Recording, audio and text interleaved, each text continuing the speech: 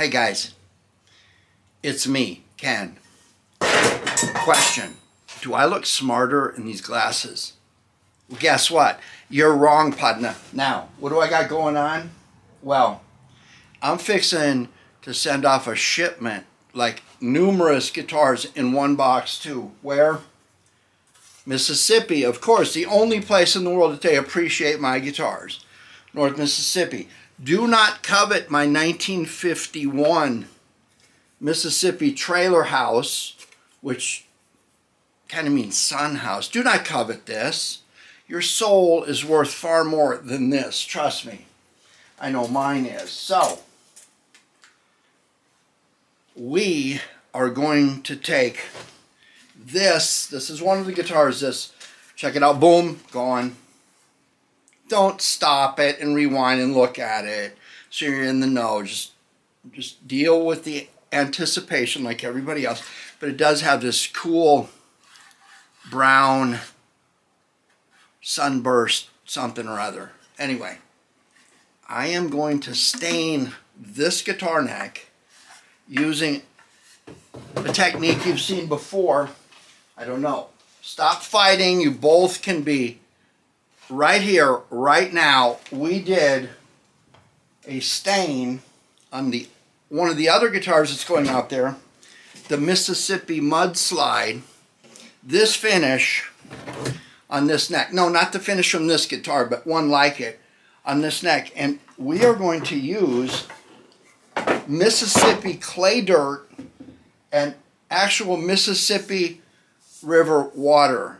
And I gave you an episode right up there, right about now. Oh, baby, chick flick teal pointer had to go nine nine. Sorry. Anyway, we did the kit guitar and we did a thorough, in depth look at the what's, whys, and hows of why I use dirt to finish a guitar. So, we are going to, I'm going to walk you through the step by step. It will not be as in depth as that episode up there, but we're going to do this and throw it together. And that's right, it's going to be awesome. You know it. Let's hit the bench. All right, guys, let's get started. First thing I did was took and sanded this neck down really, really good. I do not want anything on this neck. I don't want fingerprints. I don't want oils. I don't want anything like that. So use a sanding sponge and get over this one last time. This part is going to be under the uh, license plate and the frame, but you'll still know. Don't take shortcuts. I'm praying for you. So, you're going to need a little sandpaper or a sanding sponge or something like that, and you're going to get all of the debris off of here. Now, you're going to need to tape off the fingerboard. I do not want what I'm going to put on here uh, on the fingerboard. And so now let's get down into the ingredients. You want to remember, again, hover your mouse up there, there is an eye will pop up when you move your mouse. That's that thing you're using on your hand, with your hand. And move that around, and you're going to get an episode that tells you into detail why and, and all these chemical reactions that we're fixing to show you. But here's what you're going to need. Okay, first thing, you're going to need some WypAll rags. W Y P A L L. Yeah, they're expensive. Yeah, but the bottom line is they're made out of paper, they're dustless, they're lintless, and once you're done, you can burn them and reduce your carbon fiber put, footprint. Check. WypAll rags. Next, you're going to need some potassium silicate. Potassium silicate. My friends at Kremer Pigments sell that, and you want to put it in a bottle like this, an aspirator bottle, so you're not slopping it all over the place. You're going to have to work fast here. You're going to put this stuff wherever you want it, and while it's still wet, you're going to come up with this Mississippi mud concoction, which is one part mineral ground. Again, check out my friends at Kremer Pigments. And for every one part of this, one part of Mississippi clay mud dirt dried out and with all the chunks removed out of it. So what does one part mean? One part each. That means if I put one part of this in here, then I would need one part of this in here. That would mean if I had a semi-load of this, and I would need a semi-load of that. I don't really think we're going to do that. So we're going to need Mississippi River water. If you don't have Mississippi River water, what are you doing watching my channel? So one more time, potassium silicate, mineral ground material, Mississippi clay mud dirt, Mississippi River water, and something to put, what, what else do we need? Oh yeah, you're going to need some Jesus when you die. All right, let's get to work here. I have this cup. You can kind of see through it. It's semi-transparent, kind of like politics. Now, I'm going to take one part of this ground material. Wow, that doesn't even fit in there. So I guess I'm going to have to do some fractions or some algebraic equation here. You know, I'm going to do one part, another part, another part. No, not like this part, like this part, okay?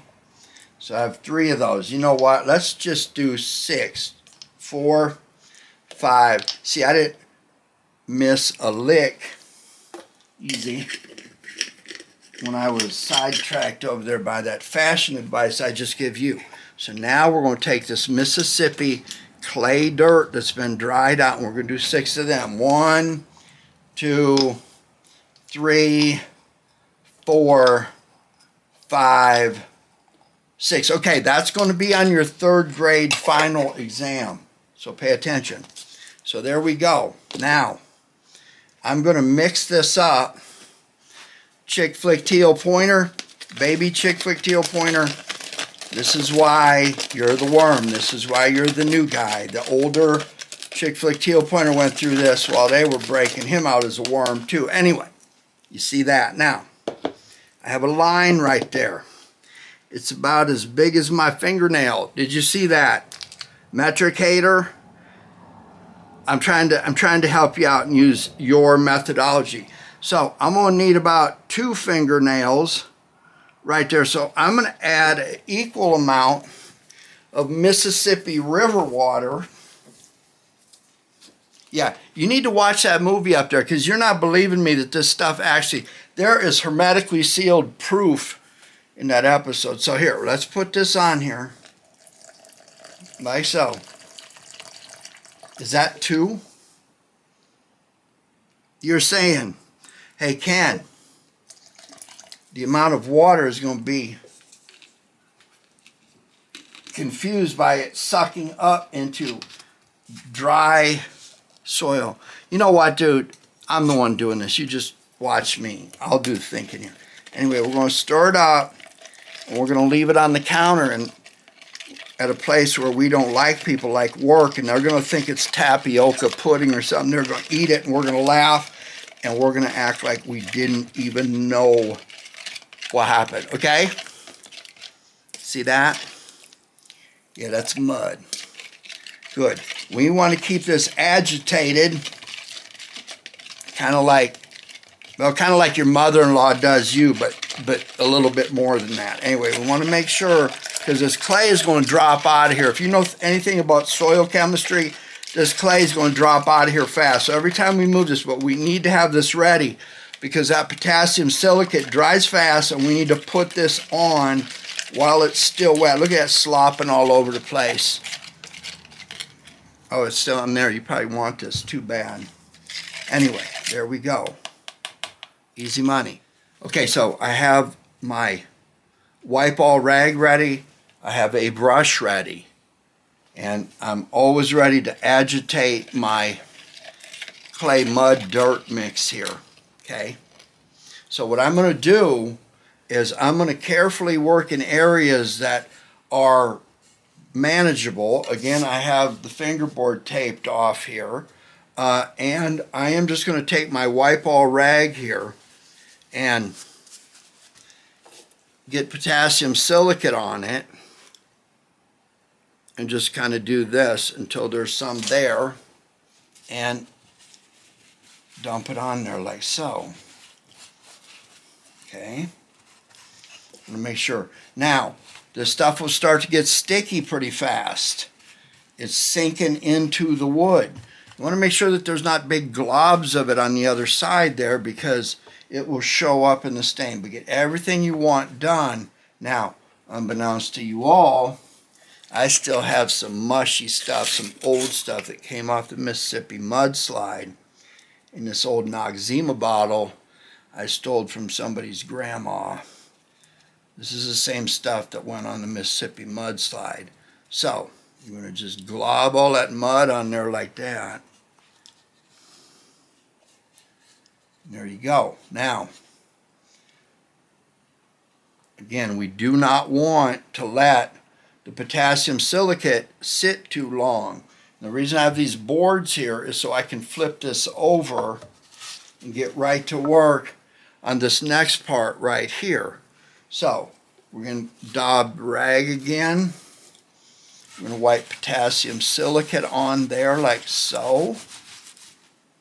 A little bit more.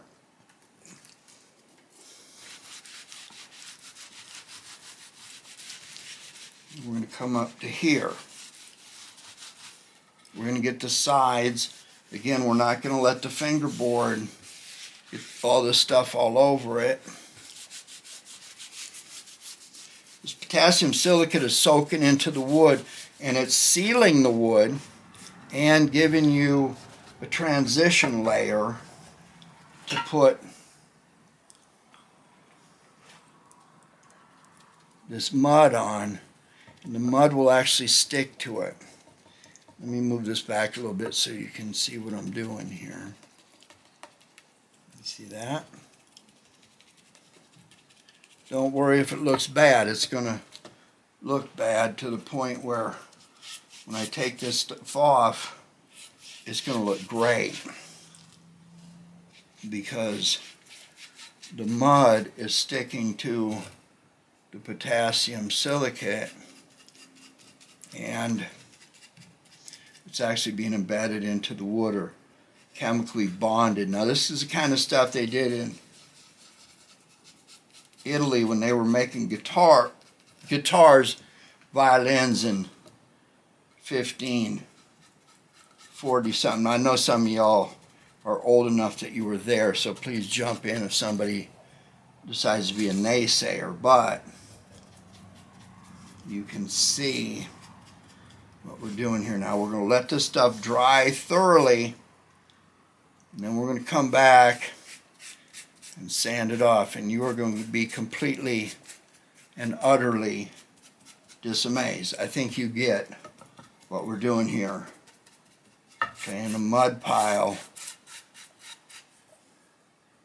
like we're at the Glamis sand dunes. And if you are at the Glamis sand dunes, you know that you need Tonka toys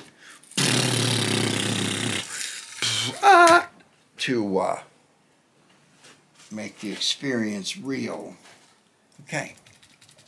Look at that. Do, do, do. Right, now we're going to make sure nothing got rubbed off up here.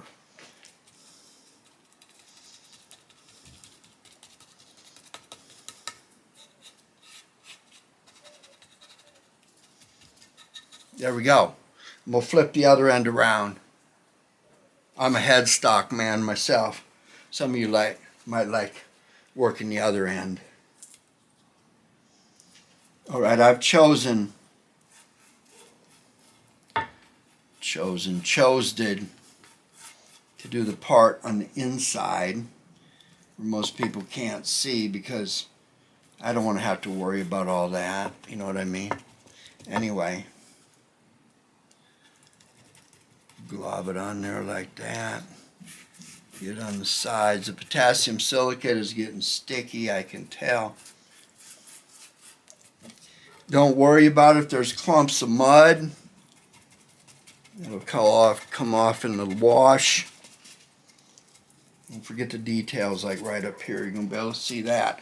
Okay. All right, guys, now we're going to wait for Mississippi mud and river water and some other chemical function that I just made up to freak out my chemistry teacher who threw me out so many times. I should tell you that story. Involved picking up trash and, and all that just before I graduated. So I would graduate. I basically had to threaten a person, say, hey, if you don't give me the credit, I'm going to come back and take your class every time and every hour of the day, and I'm going to make your life a living hell. And then if you don't give me at least one credit that I need, you'll look like you're. Anyway, I don't want to finish that story. None of that's real. You might have heard that, but it's not real. I have my own version, depending on who you are. Anyway, there we go. That is a mess, and it's supposed to look like one, and I'll catch up when the stuff dries out. All right, it's the next day, and it's time to get this stuff off here. Now, we got the Super Bowl of motocross going on again across the street. This time it's 50s or 80s or something. It's all wee, wee. But anyway, try to ignore that. Now, stay focused. Uh, this neck is just full of this mud. I just glopped it on there. You saw that. So we're going to take a scraper, and we're going to knock off the stuff that's up here like so. And then we're going to sand it down like this and get this stuff off here. Now you might be thinking, hey, it doesn't look that different than the natural wood did. You see that there? There's a comparison. Well, hey, guess what? There's a secret ingredient we're going to use. But I do have to tell you that we are going to have Tammy sign the front of this in ink pen before we do the final treatment. So I got to get this done. Now, I've had on some of my Instagram posts people tell me, "Oh, what are you doing, dude? You're making you're making guitar stain out of saprophytic tree growths and Mississippi clay dirt mud. Where do you come up with these ideas?" Well, I'll tell you what. It just comes natural to me. It's just that easy. I, I don't know what to tell you. Uh, just be blessed that you get to see this kind of creativity right here. All right, I got some sanding to do. I'd love to chat with you all day, but you know what? I got to get this done. I'll catch up with you in a minute.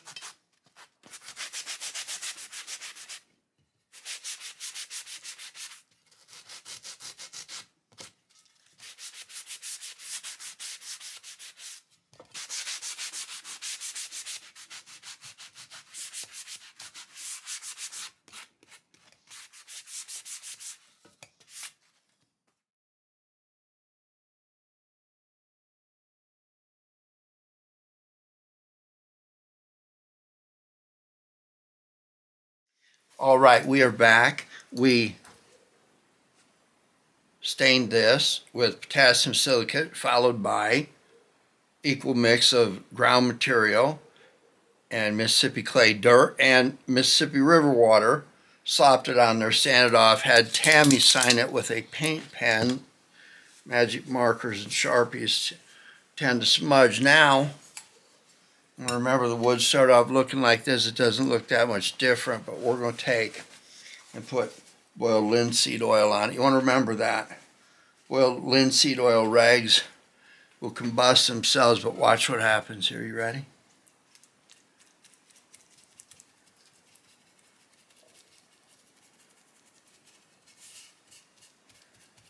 There we go. This is going to darken up after a couple coats is going to get radish like Mississippi clay soil.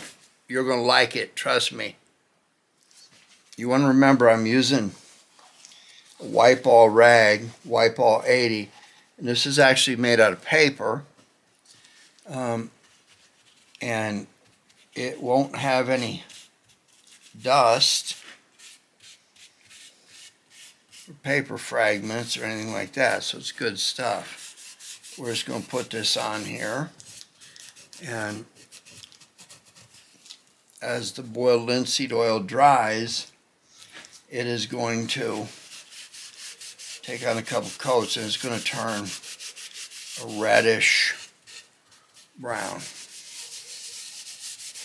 Again, I cannot tell you how careful you need to be with that barking dog back there. You know, with the uh, with these linseed oil rags because they will smolder and they will catch your shop on fire. Yeah, that oak there, this oak heel board is a little different color wood. But that's what it's going to look like. I'll get a couple coats on here over the days and then we'll have another look when the guitar's wrapped up. All right, guys, the neck is done. I like the color of the neck on the tulip poplar. I really like the way it contrasts with the oak. Um, we went ahead and put it in a license plate guitar that's going to go down to Mississippi. This is, believe it or not, matches the name of the person who's getting it, even though I found this personalized license plate in a junk shop in California. It's a small world. Anyway, um, it's got a dog license tag uh, from 1955 up in the headstock. You wanted Tam's signature. It's got Grover tuners. It's got that Eli Green Hoodoo Voodoo bead. Love the fingerboard. Darren Dukes did this fingerboard. Wrote junk pile in it. It's got a greaser. It's got a hot pickup. It's got a floating bridge. The strings are grounded with another piece of license plate metal. And it's got this tan, uh, chocolate brown sunburst. Everything goes good together. I got the frame for the license plate body from Sawbox Guitars. I think I'll give you a link down below. So, hey, anytime you can use natural stuff to make a stain, uh, and then cover it up with boiled linseed oil, you're good to go. You're not breathing all them chemicals and who knows what. Anyway, this one's going to ship down to Mississippi with a couple more guitars, and I hope to see them showing up at the festivals this summer. Hey, if you like this kind of stuff, give me a like and subscribe if you haven't, and I will see you soon.